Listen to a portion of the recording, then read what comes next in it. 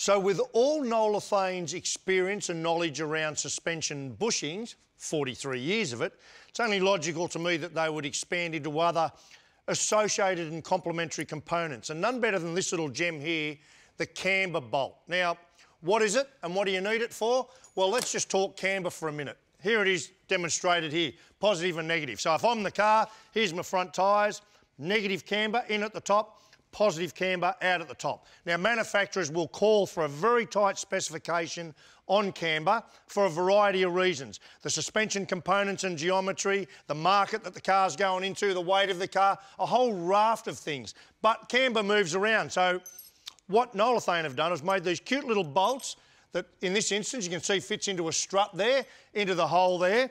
And what it is, it's a little, if I unwind it, a little offset cam on the bolt there that you can see. And what I also like is this lovely little indicator on top here. And if I turn it around, there's these little sharp spikes that dig into the metal so that doesn't turn. So they've thought about all the stuff in some detail, I will say. Now, you also need to know that they make this for a range of applications that cover 12 mil, 14 mil, 15 and 17. So that's pretty well going to cover everything you're going to need.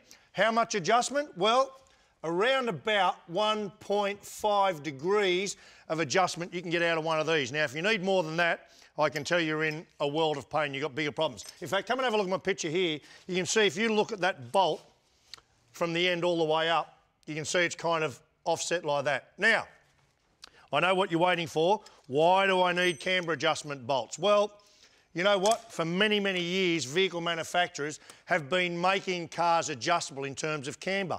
And in more recent times, a lot of manufacturers have stopped doing that, particularly imported, imported cars. Now, I don't believe in that, and I don't think that's a particularly good thing. Why? Well, let's just go through a few of them. I can't believe when we talk about a roadway in Australia or anywhere in the world, they're all sloped like that, so the rain runs off it, it's safe. And your car tyres sit like that. Now, depending on whether you're left-hand drive or right-hand drive, do you really think an importer or manufacturer of vehicles that sends them all around the world to both right and left-hand drive applications would have the camber settings right for every country in the world? Do you think every manufacturer is the same? Do you reckon I could go out in the car park there and put my camber gauge on every car and it would still be sitting on its original specifications? No way.